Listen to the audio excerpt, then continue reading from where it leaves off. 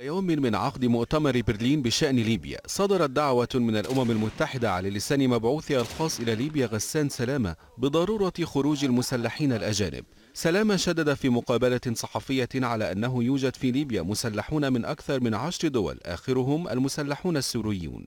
المسؤول الأممي أشار إلى أن الأمم المتحدة وضعت خطة تقضي بخروج كل المسلحين الأجانب من ليبيا مهما كانت جنسياتهم مؤكدا على المعارضة الأممية لهؤلاء المسلحين الأجانب سواء من النظاميين أو المرتزقة أو حتى الشركات الأمنية الخاصة. وفيما يتعلق بمؤتمر برلين قال سلامة إن المؤتمر لا يسعى إلى حل المشكلة بكل جوانبها بل سيكون المؤتمر مظلة واقية لما سيتفق عليه الليبيون في مسارات ثلاثة السياسية والاقتصادية والعسكرية.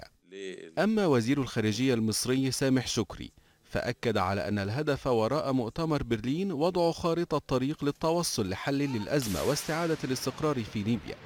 يأتي ذلك فيما اتضحت صورة المشاركين في مؤتمر برلين. فمن داخل ليبيا سيشارك طرف الصراع قائد الجيش المشير خليفة حفتر ورئيس حكومة الوفاق فايز السراج. وعربيا ستشارك دولة الجوار مصر والجزائر إلى جانب دولة الإمارات العربية. وأوروبيا ستشارك فرنسا وبريطانيا وإيطاليا وألمانيا باعتبارها الدولة المنظمة.